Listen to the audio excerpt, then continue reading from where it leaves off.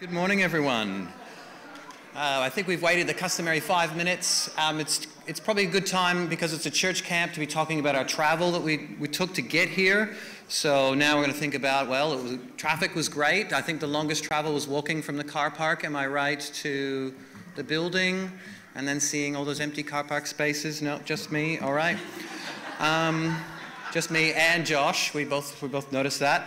Um, so yeah, that's the traffic talk out of the way. Um, now I think I have to relive some childhood traumas from camps begone. Um, I think the worst one for me was my first, first camp my mum sent me on. A, uh, I was in my, my very, my only jeans actually, not my very best jeans. They're the only jeans I owned. And there I was in my only jeans I, I owned going on my very first trail ride, horse trail ride, two hour trail ride. And I couldn't walk for the next several days. Um, Ooh, that's childhood trauma from camps covered. Um, so I, honestly, though, I do. I think there are there's plenty of good reasons to be on a camp, and I'm pretty sure there aren't any um, horse riding uh, events happening today. Am I right there, Russ? Yes, there's no horse riding. So the only trauma you could have is, I guess, if you uh, see whatever I paint in the painting uh, time later on you can ask Kirsty about my painting um, skills. They're very low, very low. Um, so, yeah, I'll, I'll, avoid that as well. Don't worry. Um, hey, so welcome. Um, I'm, and I guess if you want to talk about your childhood traumas from camps or um, your traffic delays coming here, do, do tell somebody about that while you're setting up your tent um, later on this afternoon. how good is church camp at home? Am I right? Am I right? Did everyone just look back at their pillow and say, I'll see you tonight? and say, I cannot wait. You know, like, woo! he looked at your inflatable mattress and said, Not today. Okay, that's great. Um, no, some people like camping. I don't know. Um, it's, who are you? I'm taking names. I'm taking names. Anyway, it's great that you could come here and you could carve out this time for church camp. Um, you know, it, so I want you to take a minute to think about the purpose that you have for coming to church camp today. For me, camps, they, they help people love each other and be loved by each other. There's a purpose for me. That camps can also set this common direction or purpose. Everyone says, yeah, we're on board with that, and that's what we want to do. Um, maybe camps are going to introduce you to some people, to support some friendships, and maybe to test us. I see you introverts out there. There's going to be some testing happening. Um, and camps definitely refresh us as well. Um, refresh us as we, as we just encourage one another, as we hear God's word, um, and, as God, and as God's word works in us. Um, and of course, I think I just covered what I was going to say there. Um, we're going to expect that God's word will do a work in us by his Spirit. Um, so I may have missed why you've come, but hopefully I've encouraged you for a reason why, another reason maybe there's another reason why you have shown up. If you're like me, you're thinking, well, I wonder if there's a YouTube clip or a sermon I can watch that would give me the same input. And it's, there isn't. There isn't. This is the time, and this is the best way to do it, is to gather together and to hear God's word and to encourage it, encourage each other, to say God's word to each other and to have it said to us and have it applied to us. Um, we can't get that from YouTube because if you're like me, you'll just watch America's Worst Cooks anyway. Um, or something like that. Hey, if you've seen it, it's hilarious. Um, so don't trade YouTube for a time together. Um, we're going to, just so you have an idea of what's going to happen this morning, um, I'm, soon I'm going to stop talking and we're going to have some, we're going to be led in worship with two songs. Um, we are, I'm going to interview, we're going to watch a video, I'm going to interview uh, Karl, who's who's um, sitting over there. That's all right. He'll be up here soon for the interview. Don't worry. And um, then uh, we're going to have a prayer, another song, talk a bit more about some housekeeping. And that's the, that's the morning. So if you are the type that likes to have the big picture, that's it. Um, I'd like to lead, get us to think about Jesus now. Um, John 1 is what I'm going to read because it's got a tent reference. It's got the start of a, tent reference, and I think it's helpful for us to think about Jesus and camping. John 1 from 14. The Word, that's Jesus, became flesh and made his dwelling, or set up his camp, or his tent, um, among us. We have seen his glory, the glory of the one and only, who came from the Father, full of grace and truth. Brackets. John testified concerning him. He cried out, saying, This is the one I spoke about when I said, He, he who comes after me has surpassed me because he was before me. Brackets. Out of his fullness, Jesus, out of his fullness, we've all received grace in place of grace already given. For the law was given through Moses, grace and truth came through Jesus Christ. No one has ever seen God, but the one and only Son, who is himself God and is in closest relationship with the Father, has made him known. So, everyone, today I hope that we can pursue the grace and truth given through Jesus. Um, let's pray together. I'm going to lead us in a prayer from the Valley of Vision, um, and I'm going to invite the musicians up as well. Uh, Lord Jesus, you are the lover of our souls.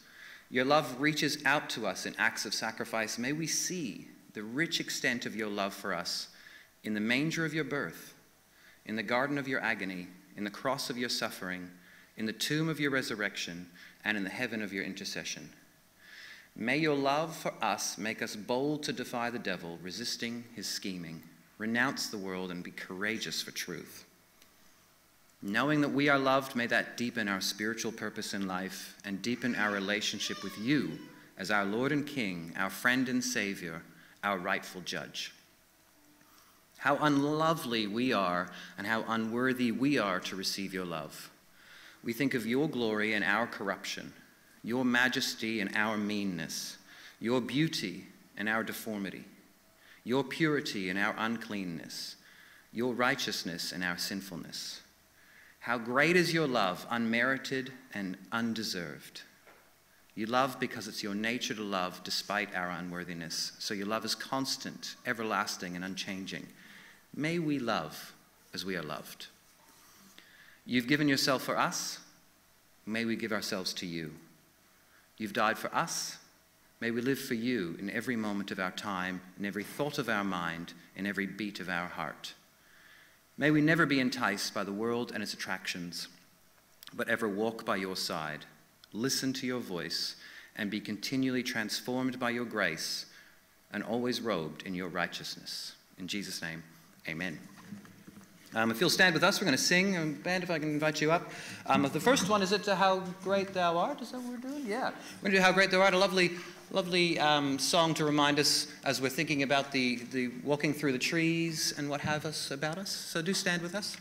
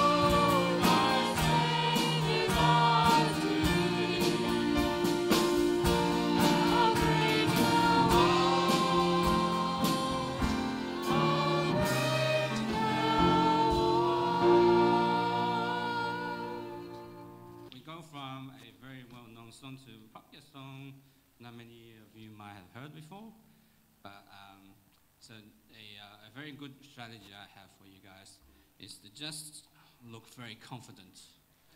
And just remember that nobody else is going to hear you really, so just, just sing anyways.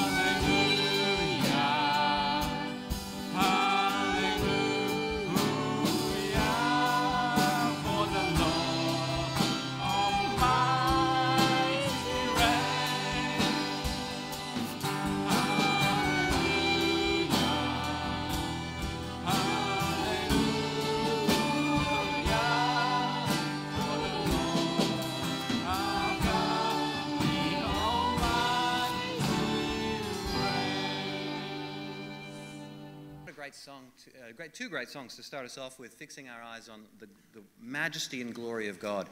Um, in case I didn't say before, my name's Joel. I'm from Shore Hope, and now I'm going to introduce you to a video. So just stare at the screen, please, and here it is.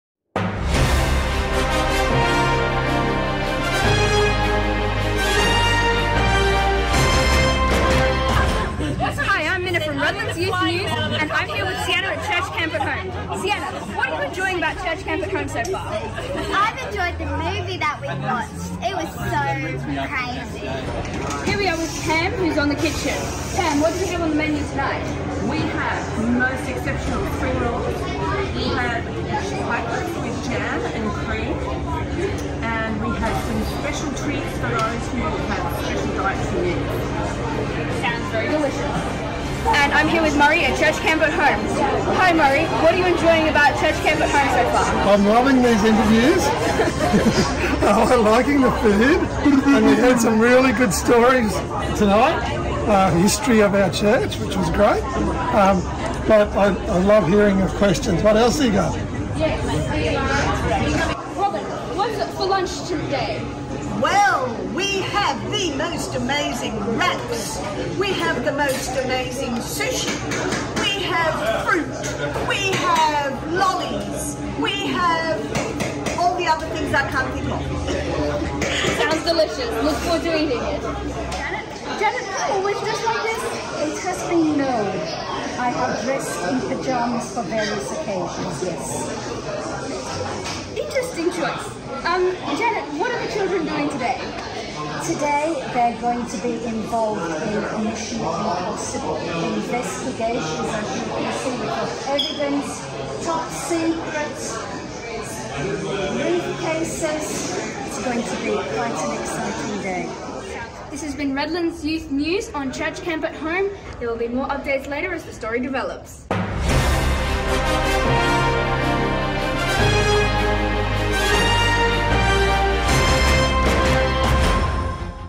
Great, thanks, youth. Um, Karl, can I invite you to come on up? So, I, I haven't written down the questions here. they're, they're on my phone. Um, Karl, where, where, which, where have you hailed from? Where have you come from I've come just to, now? I've come from Sydney. Yeah, so from the inner west of Sydney, from Croydon. So uh, I flew up yesterday. So, and I, I'm wearing this jumper as a statement, it's saying it's not that warm here. Uh, make of that what you will. Yeah, yeah. I'm, I'm, I'm still, I'm still thinking because I thought that you were also uh, pr- prior to Sydney, you were from Tasmania, I was from Tasmania. That's right. from yeah. Launceston. So I'm thinking not that cold up here in Queensland. That's right. Okay, yeah. okay, okay. That's not one of my questions here, Yeah. okay? Um, so you spent 10 years, or over 10 years, in ministry in Launceston, and now you're involved in training others for ministry at SMBC? Yep, that's right. So Yep. how did that change happen, going from one ministry to the other? Yeah, so I was in Launceston for about 11 years, pastoring a church, um, and I'd, I'd done my PhD. I, I'd, I'd done further kind of theological study while I was working as a pastor, and I guess then for year, a number of years I was thinking about where where does God want me to be serving Him? Does He want me in the church? Does He want me uh, teaching in a Bible college? Uh, so for a while I was doing both at the same time, part-time teaching in a Bible college in Melbourne and then pastoring a church. But then at the end of 20, what year are we in now? Gosh, end of 2021 I think it was, uh, an opportunity came up at Sydney Missionary and Bible College and um, yeah, it was kind of suited to what I was doing, which is teaching theology, but then also really trying to train and equip pastors uh, kind of form them spiritually and in terms of their character. Uh, I just saw an increasing need for that. Um, I think Bible College is always trying to do that, but just have a real passion for seeing people well equipped uh, for the rigours of pastoral ministry. Yeah. Uh, that really gives us an insight into your heart of um, wanting to see uh, the, the pastors of tomorrow um, trained and, as you said, uh, improved in their character or um, developed in their character. So thanks for sharing that. Um, my, now you know that in Queensland we spend our days off going to Bible talks and um, That's what I've heard. uh, yeah. we gather together just pretty much every day off. And I just wondered in Sydney, what's what does a day off look like for you? Yeah. Well, normally we're up at three o'clock for prayer vigils, um, and that would run through till 11 or 12 at night. Um, there's a lot of. that's right. There's a lot of. No, look for me, a, a, day off. I'm not. I, I once. Uh, one of my ministry mentors, the first time I met him, he said to me, "You're in danger of becoming the most boring person I've ever met." Um, yeah. Uh, so I try to be more interesting. I, I mountain. I've taken up. Well, I took up mountain bike riding while I was in Tasmania. It's a bit harder to do in Sydney. I'm in the middle of kind of close to the centre of Sydney, so it takes me about 40 minutes to drive to a mountain bike park and about 20 bucks return in tolls. Tolls. So uh, it's a high level commitment. uh, but that's what I do. I, I ride my mountain bike. I uh, I play a bit of trombone. I used to play in an orchestra. I don't do that anymore. Read. That's kind of yeah. Okay. You'll find, I think, a lot of um, uh, empathy amongst the mountain bikers here. We've got some really good mountain bike Oh, really? here. It's a thing up here. It was massive in It's a thing up here. Yeah, yes. okay. It's a thing. Um, great. Well, you can go back and take a seat, but only for a short time because Ben, I think, are you around? You're going to come up and read read the scripture to us, and Ben's going to read um, scripture to us, and then Karl, I'm going to invite you straight back up. All right? All right. Thanks, Ben. Yeah, so we'll be reading from Hebrews this morning, uh, and if you do happen to have a church Bible in front of you, it's on page 843. You have not come to a mountain that can be touched and that is burning with fire, to darkness, gloom, and storm, to a trumpet blast, or to such a voice speaking words that those who heard it begged that no further word be spoken to them, because they could not bear what was commanded. If even an animal touches the mountain, it must be stoned to death. The sight was so terrifying that Moses said, I am trembling with fear. But you have come to Mount Zion, to the city of the living God, the heavenly Jerusalem. You have come to thousands upon thousands of angels in joyful assembly, to the church of the firstborn, whose names are written in heaven. You have come to God, the judge of all, to the spirits of righteous made perfect, to Jesus, the mediator of a new covenant, and to the sprinkled blood that speaks a better word than the blood of Abel. See to it then that you, do not refuse him who speaks. If they did not escape when they refused him who warned them on earth, how much less will we if we turn away from him who warns us from heaven? At that time his voice shook the earth, but now he has promised, Once more I will shake not only the earth, but also the heavens. The words once more indicate the removing of what can be shaken, that is, created things, so that what cannot be shaken may remain. Therefore, since we are receiving a kingdom that cannot be shaken, let us be thankful and so worship God acceptably with reverence and awe, for our God is a consuming fire. It's so uh, lovely to be here uh, with you on your church camp. Um, I, I think I must be the only one who's, who doesn't have my own pillow. Uh, my pillow is back in Sydney, so uh, uh, but it's great to be here with you and, and great to be spending some time thinking with you about the church. Uh, it's something that I've thought a lot about when I was a pastor, something that I thought a lot about um, when, I, when I teach. It's something I think a lot about when I teach uh, Bible college students about what the church is. So, really looking forward to, to this weekend and, and praying that God will use this. Let's, let's pray that now. Our dear Lord and Heavenly Father, we do thank you for the blessings of the church. Lord, we thank you that you've created uh, your church, uh, that you've called it into existence through the gospel, uh, that you've formed it in Jesus. Lord, we pray now that as we dig into your word, that you'd help us to know what the church is. Uh, and Lord, uh, that you would help us to live as your church for the glory of your name. We ask it for Jesus' sake. Amen. Um, well, I remember as a kid, uh, I remember as a kid loving to look at the tools in my dad's garage.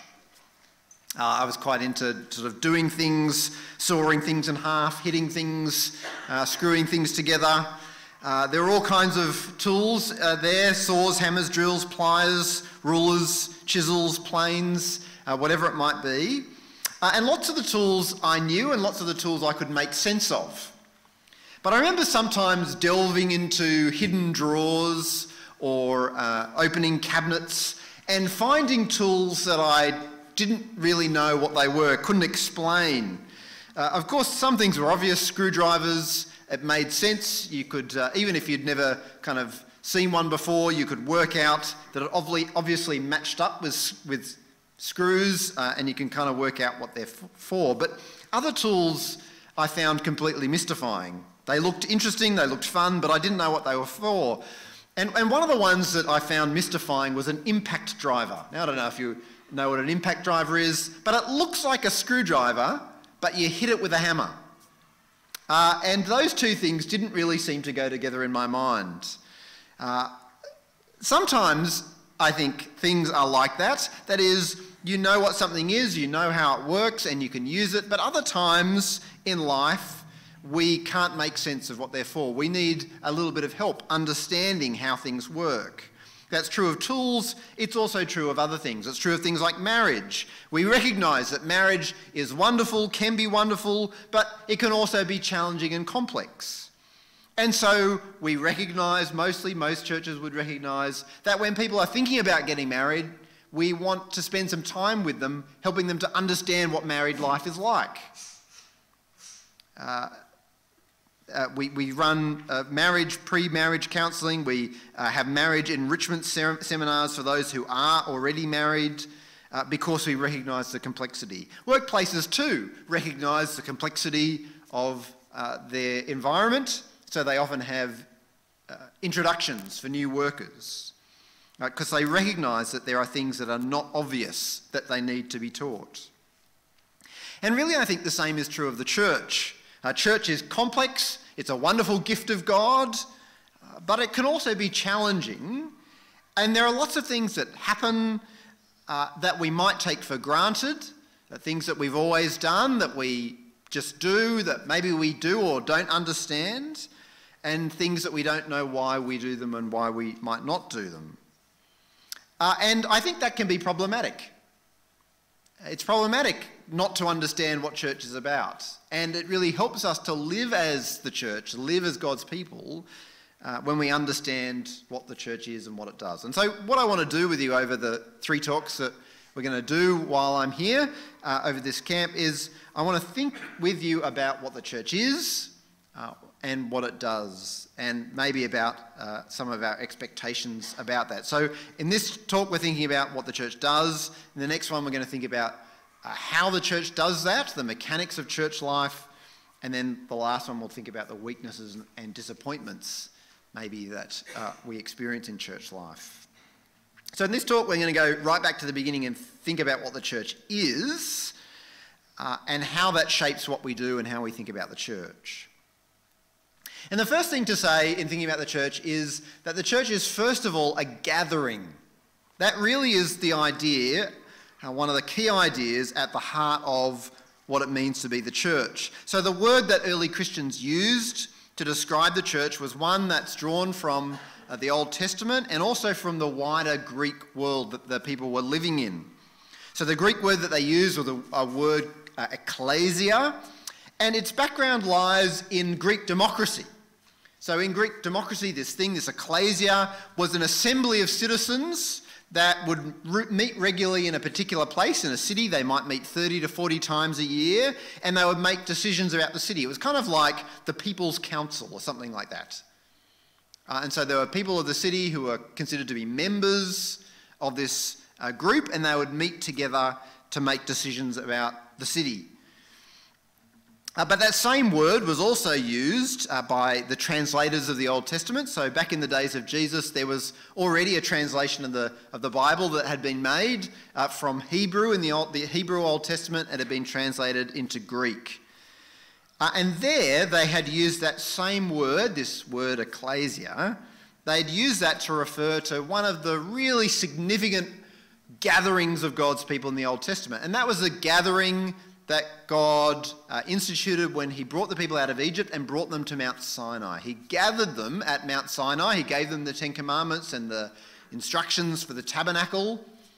Uh, and that, these translators translated that as an ecclesia, this word that we call church, that we've translated church.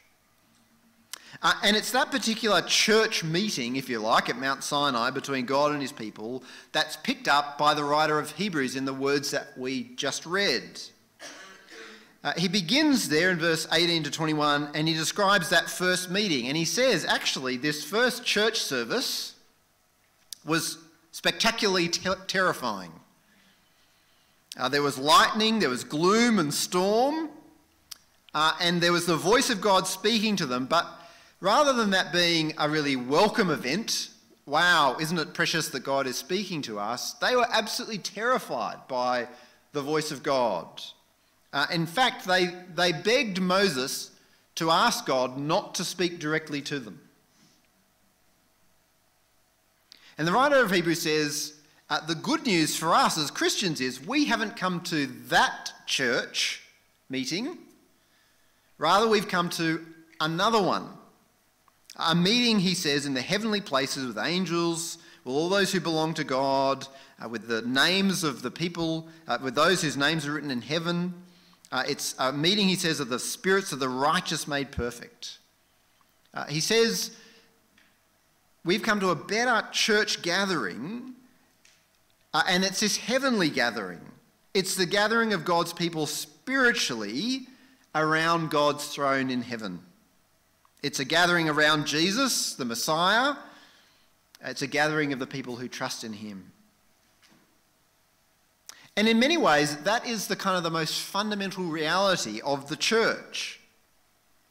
That is, it's an invisible and it's a spiritual thing. It's an invisible and a spiritual gathering around the throne of God in heaven. That's the most fundamental reality of the church.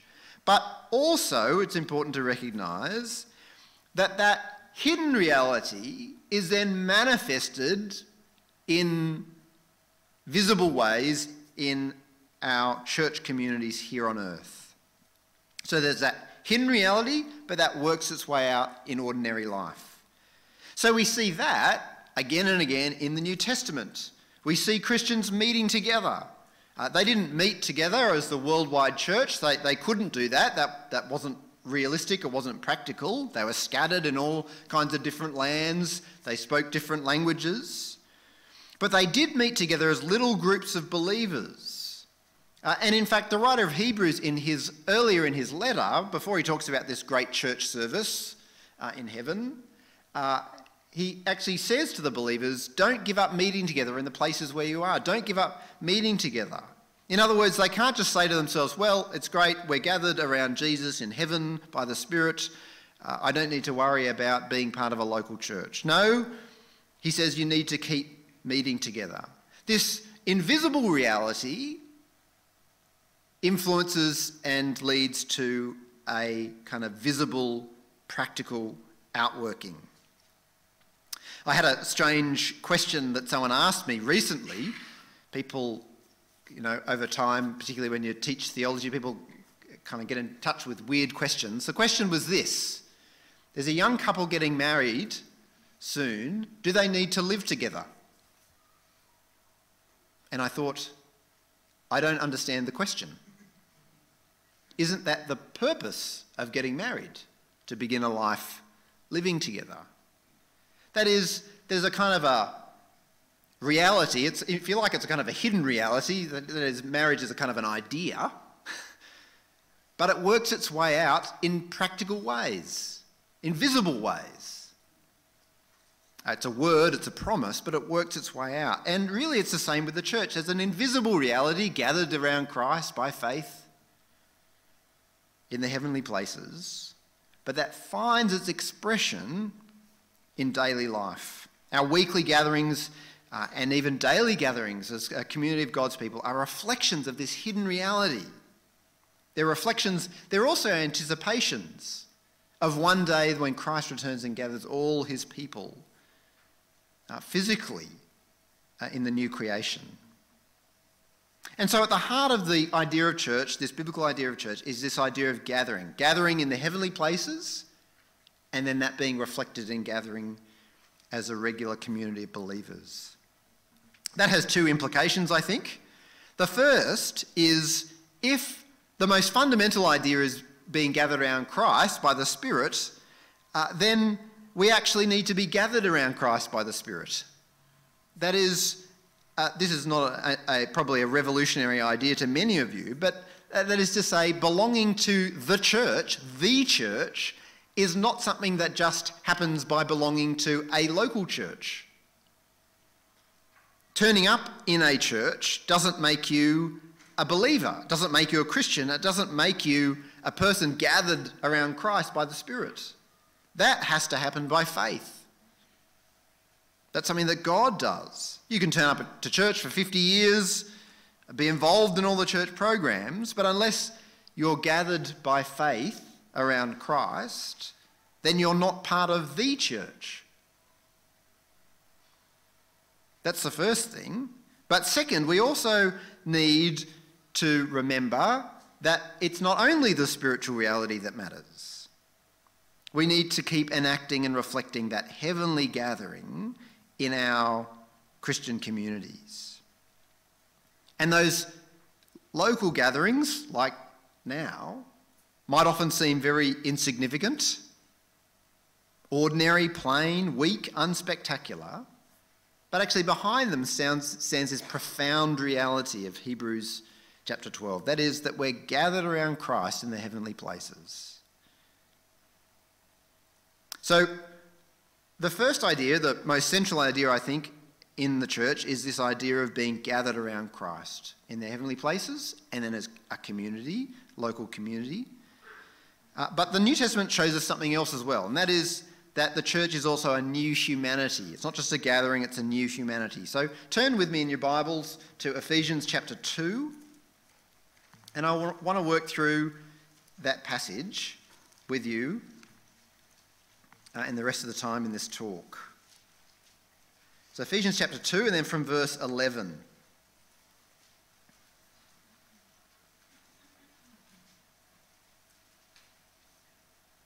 So, Paul writes, he's just talked about uh, God's plan of salvation from the creation of the world uh, and how uh, Christ has brought reconciliation with God, uh, forgiveness of sins, and so forth.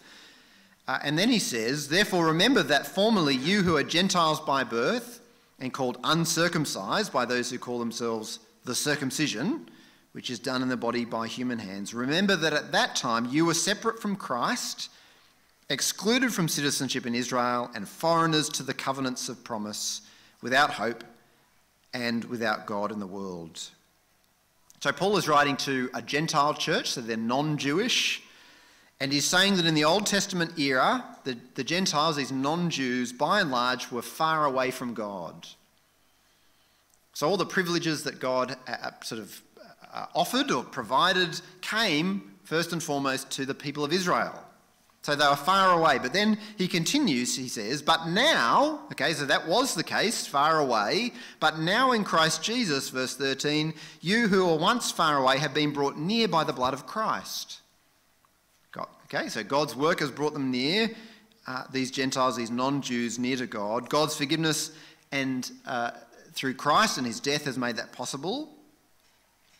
But it also turns out, Paul goes on to say, it's not just these non Jews, these Gentiles who are far away and needed to be reconciled to God. Actually, it turns out the Jews needed to be reconciled to God as well. So, verse 16, Paul says that God's plan was in one body to reconcile both of them to God through the cross by which he put to death their hostility.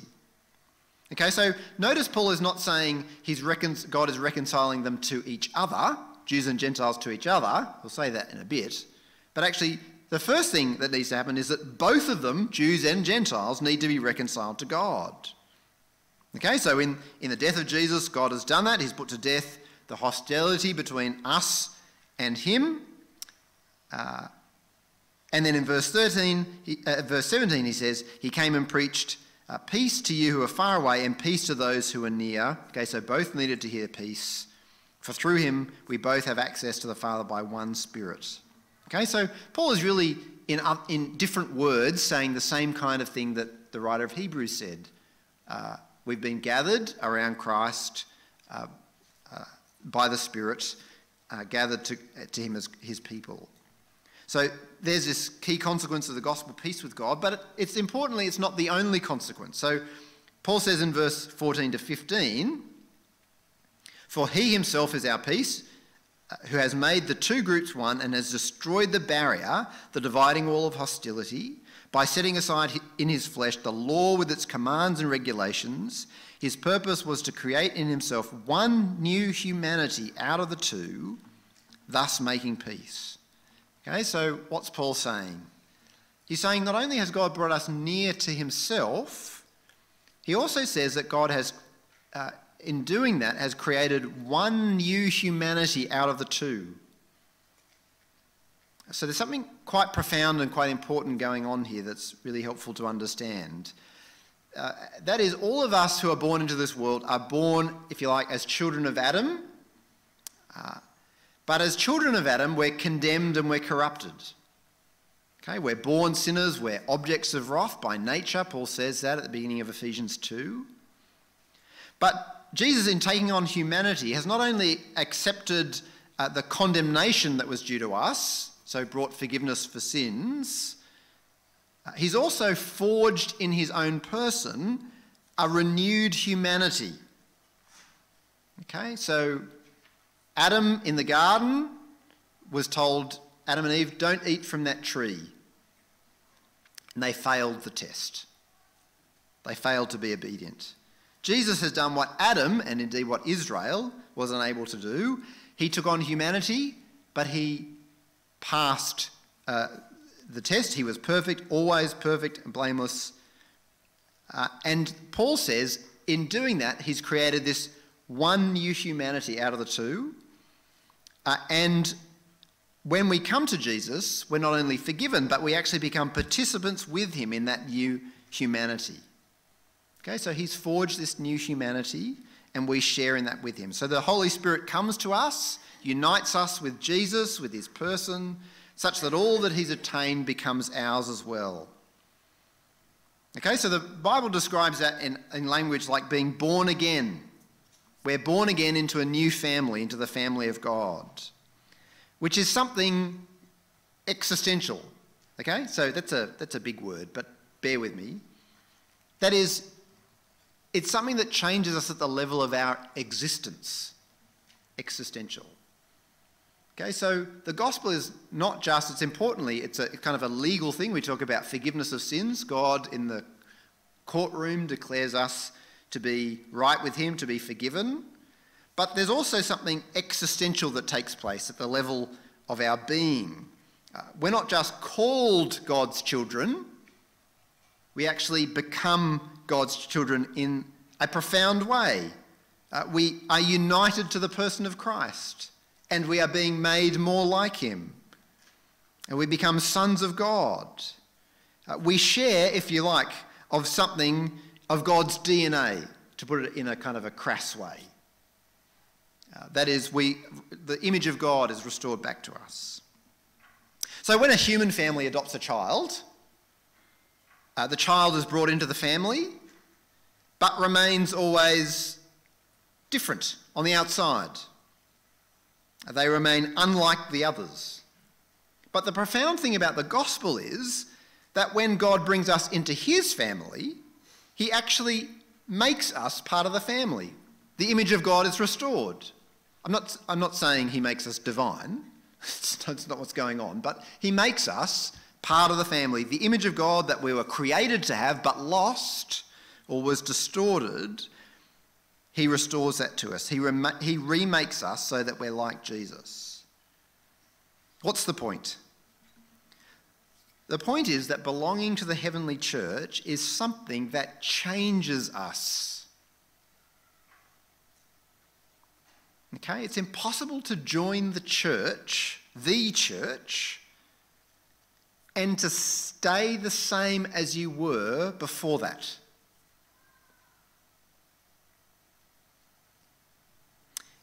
If you're the same person that you were five years ago or 50 years ago, then there are good reasons for wondering whether you're really part of the, the heavenly gathering around Christ. Because people who belong to that gathering are different.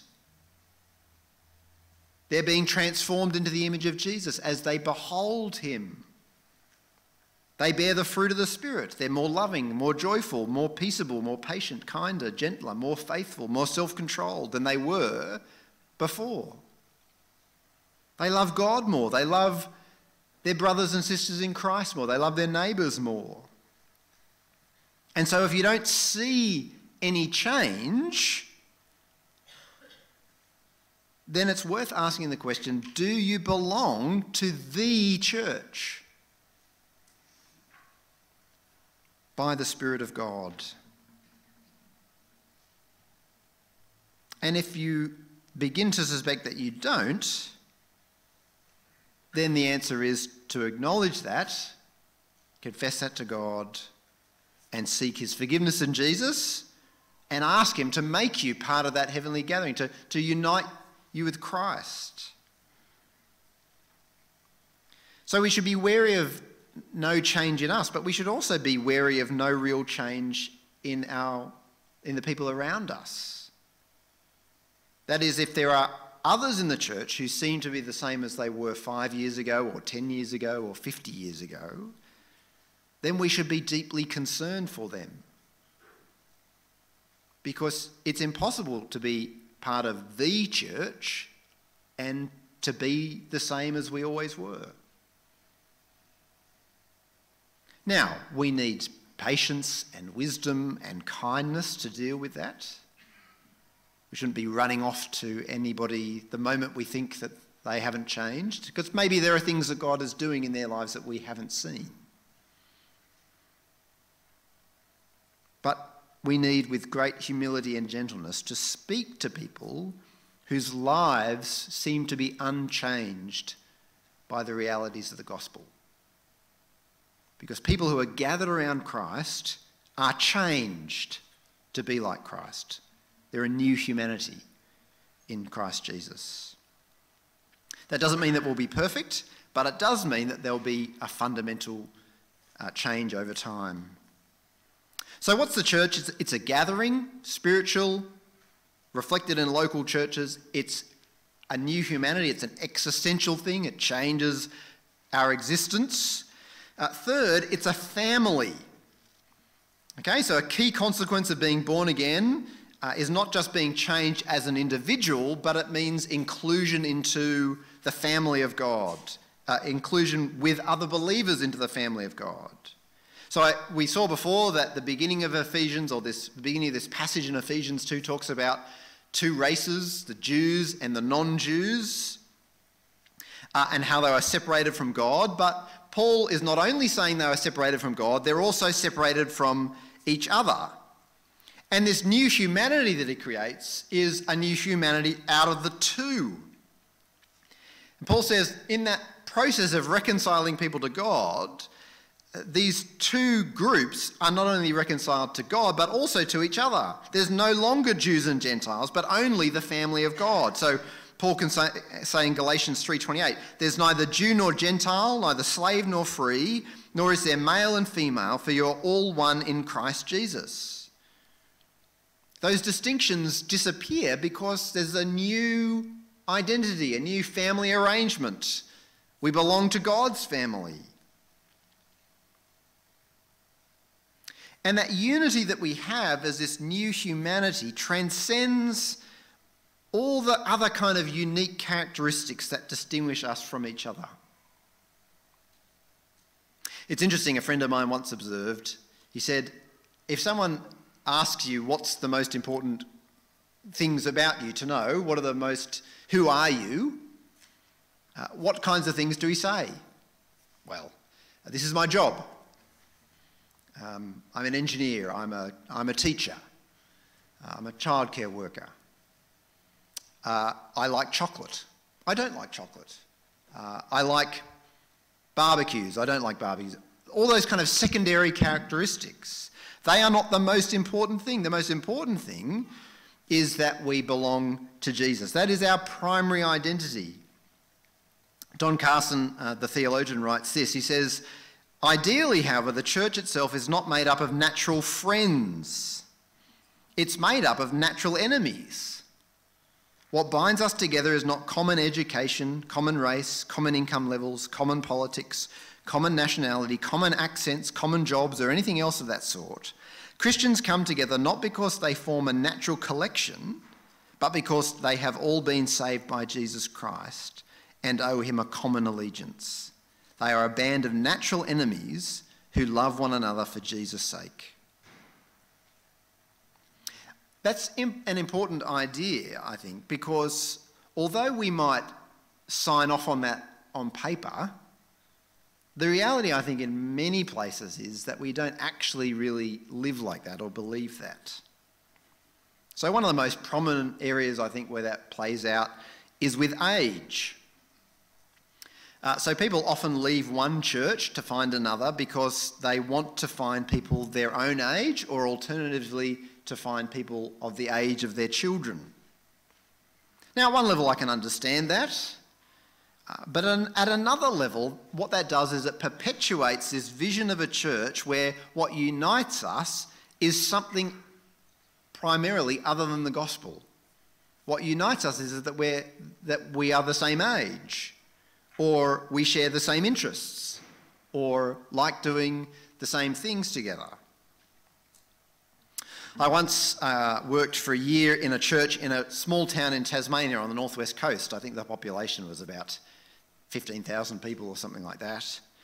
And the church there that I was ministering in had no one like me. I mean, you might think, well, that's not surprising, Karl. Um, you're in danger of being the most boring person that anyone's ever met.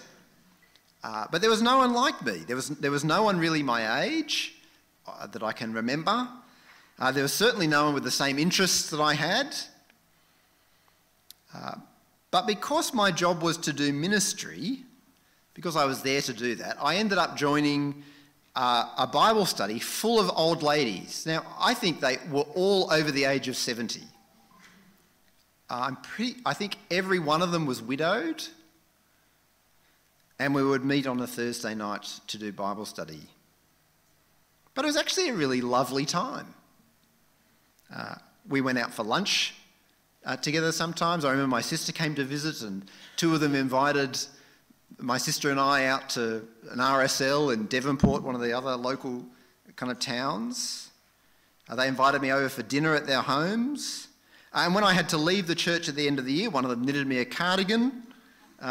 And we all went out together at the local RSL um, in the town. They were so unlike me except for the gospel. But they were family.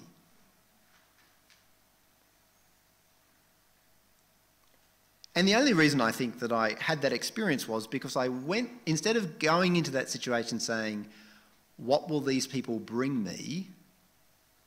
Because I was there to do a job, ministry, I, then, I went there with the attitude, How can I serve them? And so I came away incredibly blessed by them and their love and their kindness. So often, I think we close ourselves off to those possibilities and those opportunities because we select our involvement with others in the church community based on those other criteria. Are they my age? Are they married? Are they not married? Do they have kids? Do they have kids the same age as my kids? Do they like doing the same things that I like to do? Do they share the same political convictions that I do? But that's actually not what the church is. The church is a family united by God through Jesus. So the church is a, is a gathering around Christ in the heavenly places, reflected in our local communities gathering uh, week by week. Uh, it's a new humanity born again through the Spirit of Christ. It's a family. Uh, and finally, the church is a building being built together. So Paul says in verse 19 Consequently, you are no longer foreigners and strangers, but fellow citizens with God's people and also members of his household, built on the foundation of the apostles and prophets, with Jesus Christ himself as the chief cornerstone. In him, the whole building is joined together and rises to become a holy temple in the Lord. And in him you too are being built together to become a dwelling in which God lives by his Spirit. When I was growing up, the one thing that I knew about church, because everyone said it over and over and over again, is the church is not the building. Which is true. But it's very interesting that in the Bible, the church is often described as being like a building. Now, Paul says the church is like a building in a number of ways here. First, it's like a building in that Jesus is the cornerstone, so its shape and its alignment uh, comes from Jesus. Second, it's like a building in that it has a foundation. The foundation here, he says, is the teachings uh, written down for us in the Bible of the apostles and prophets. Uh, third, the church is like a building, or more specifically, it's like a temple in that God dwells there by his Spirit. But finally, the church is also like a building in that the people in it are being built together. We're living stones, the Bible says, being uh, formed into a building. And that last idea, I think, is so important. And I think it's one that's very helpful for us because it's also one that we often struggle with. Uh, we're being built together, but what does that actually mean? Well, at one level, it means that being built together with others is a fundamental part of belonging to Jesus. Okay, so you can't be a brick on your own. Uh, a brick on its own is not, this might be a revelation, is not a building. Uh, you need lots of bricks to make a building. Uh, and so the New Testament says we need to be with others. Uh, we need to be built together with others. So, Paul in Ephesians 4 says that the church, the members of the church, are to build one another up.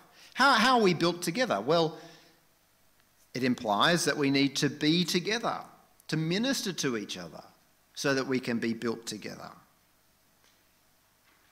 But the under, understanding the church as a building also has a far more radical implication, I think. And that is it, it implies that at the heart of the, our Christian self identity, self conception, is not me as an individual, but us as a building. Not me as an individual, but us as a building. That is, the end goal is a beautiful building, not beautiful bricks.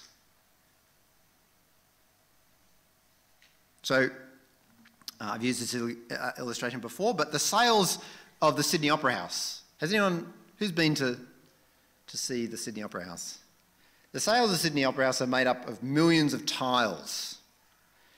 Uh, and if you go up and stand next to the tiles, which I did a couple of years ago, don't go there that often, but if you go and stand up next to the, the sails and you see the tiles, it kind of looks like a bad 70s bathroom.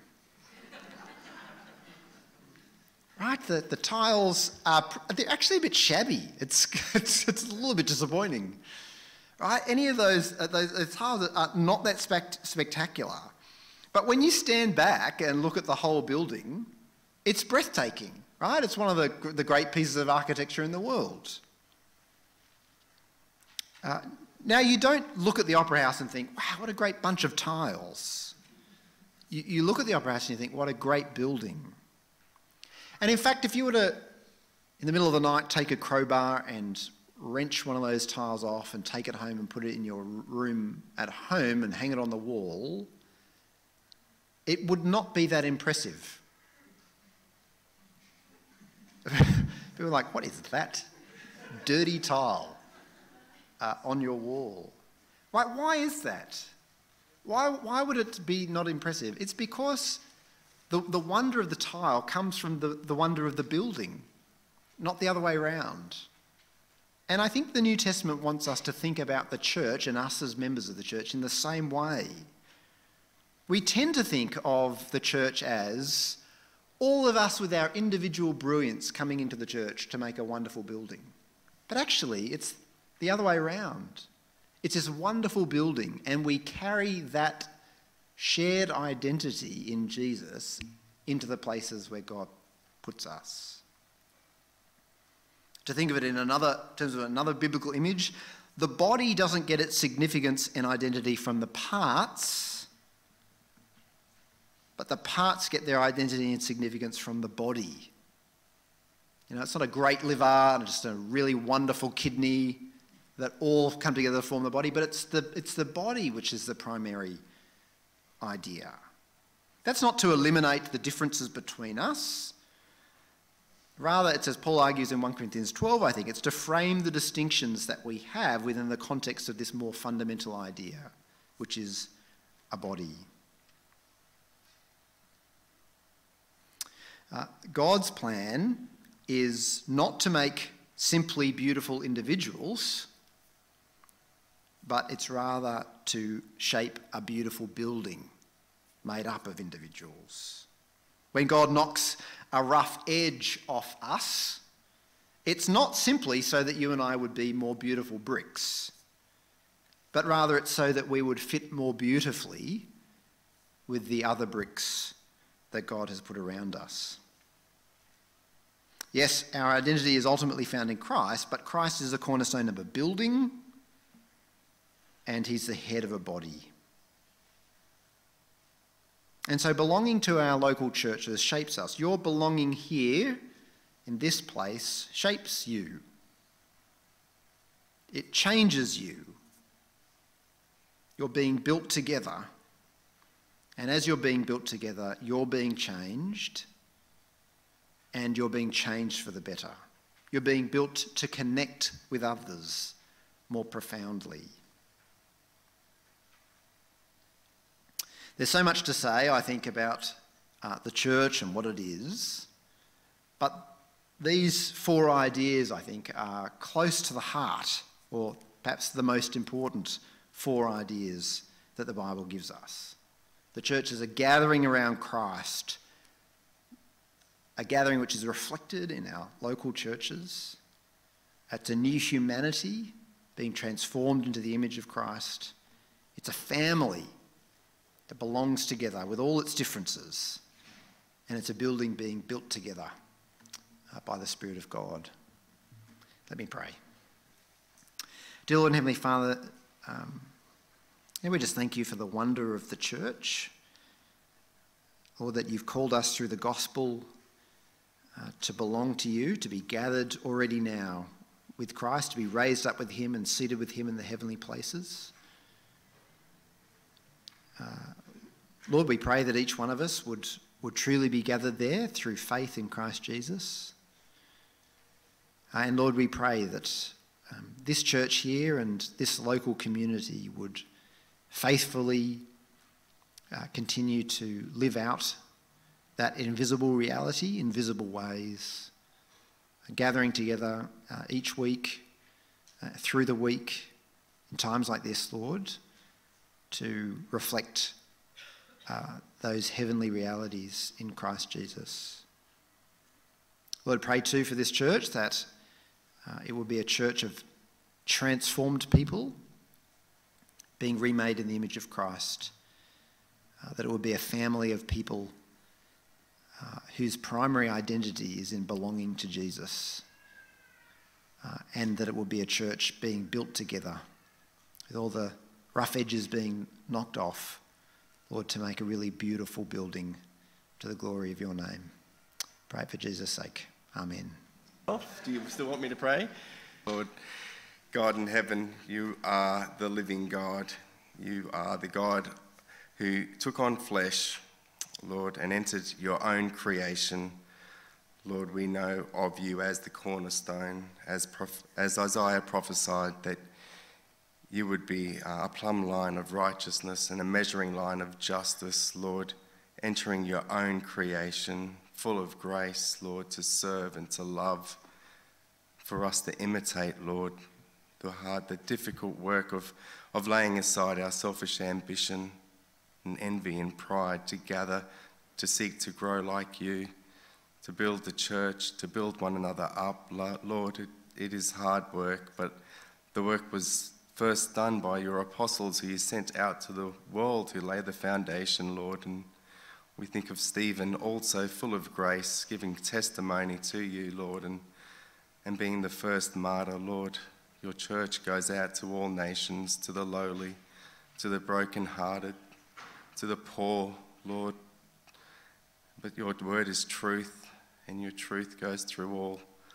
And it grows up, it goes into every status of society because there's no denying truth, Lord. We can try to suppress it, but it'll rise, Lord. So, Lord, help us to be people of truth, and people of light, Lord, to be a church after your own heart, to put aside ourselves and to seek to serve, Lord. What a wonderful encouragement we have today from Karl, Lord, and his study and his deep thinking about who you are and what you call us to be. So, Lord, help us to enjoy this day, enjoy one another, enjoy food, enjoy company, enjoy the noise. It won't be enjoyment for everyone. So, make us patient and kind and understanding with others. So, so that ultimately you will be glorified in, in, in the unity and the, and the spirit in which we do this day. Amen. Thank you, Norm, and thank you, Karl. Can I invite the musicians up? And we're going to be singing another song. There is one gospel.